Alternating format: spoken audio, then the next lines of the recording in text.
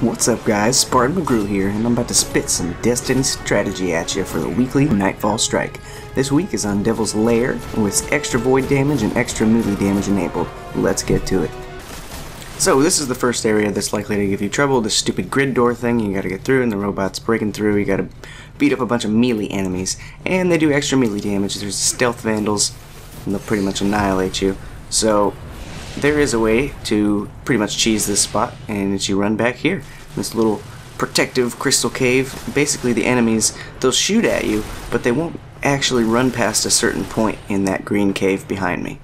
It's just a, you know a design of it. They they uh you can use the the slope of the cave for cover but they won't run back there. So you don't have to worry about the melee you just have to worry about the gunfire. And it's really not too bad. You can use that definitely if you're having trouble with this spot so this next part is the Fallen Walker mini-boss, and a lot of people like to use the building on the far right and use the cover over there.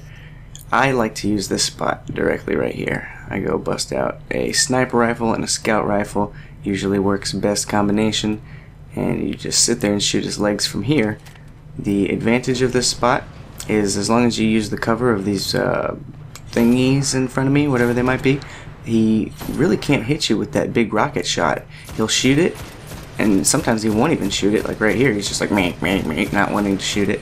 And all you have to worry about is these enemies that come up behind you. It's just a fallen captain and a fallen vandal will spawn every now and again. Just keep your eyes out and kill them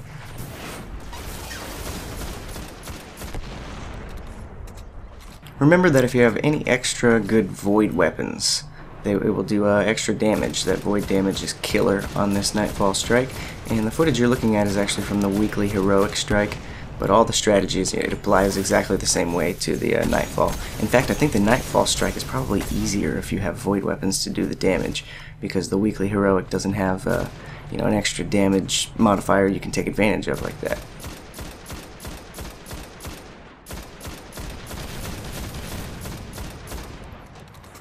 And now we have come to our final part, battle against Septik Prime.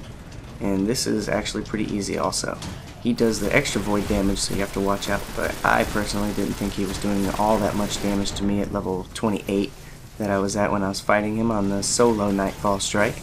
Here on the weekly, he, well, he doesn't have the extra void burn damage, so I can't say much about the weekly. But the Nightfall, yeah, he's, he's really not that bad. The area I like to hang out is right underneath where we're at. So you come in, I know you probably know to clear out the enemies, and then he gets pissed off at you.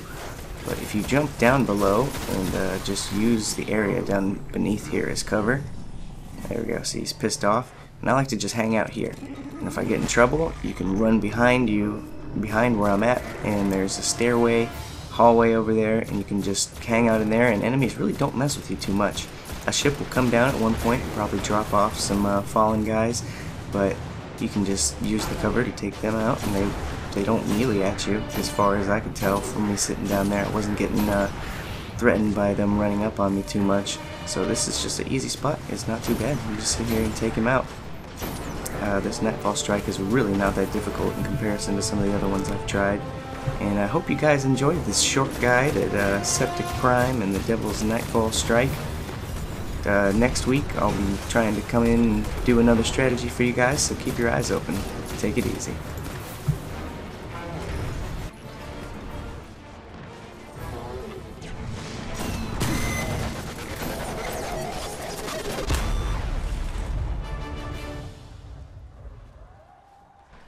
Well done. Sepiks Prime cast a great shadow over our city. With its destruction, the fallen devils will grow weaker. But we must stay vigilant. The fallen are crafty, and they'll find ways to survive.